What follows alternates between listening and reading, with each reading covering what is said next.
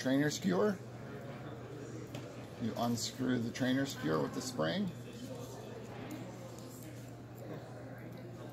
Now what you want to remember is that the small end of the spring needs to face the bicycle. So there's going to be one on this side. You put it back through. You take the small end of the spring and you put that on first. And you take the bolt and you put it on.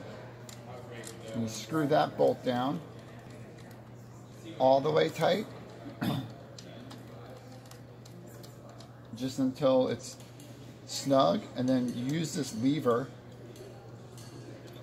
and when it starts to get tension about 90 degrees you're good if it if it gets tight before that you want to back the screw off on the other side a little bit a half a turn or so try again and once you get that tension here you push it down and it's closed